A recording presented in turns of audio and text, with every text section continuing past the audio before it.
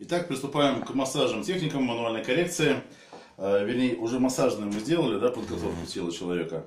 Э, Теперь что мы можем делать в лежащем положении, вот когда после э, окончания массажа, заканчивания массажа спины, что мы можем сделать?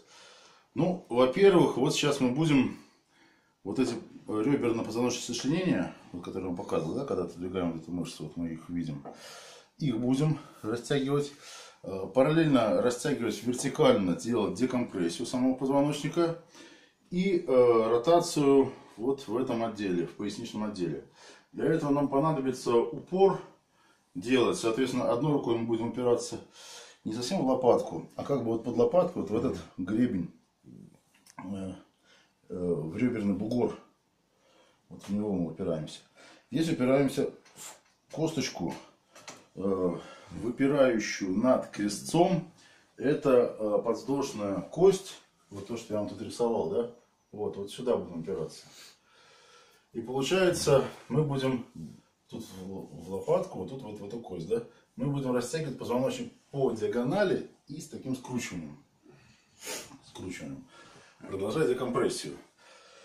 Э, Лучше это делать не через не на голое тело, да, а через какую-нибудь тряпочку, простынь, там, полотенчика, ну, на худой конец носовой платок, если у вас ничего нету, да, можете носовой платок взять, один сюда, один сюда положить.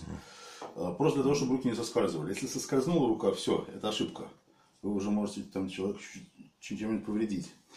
Значит, э, смотрите, за- зависит от того, где наш вес тела больше находится. Здесь, над этой рукой, да, или над этой рукой. То мы можем, таким образом, можем маневрировать, куда мы больше будем действовать, э, уделять воздействие. Либо верхним, верхнему грудному отделу, да, либо пояснице. Вот я, например, хочу верхнему грудному. Тогда я перехожу чуть ближе.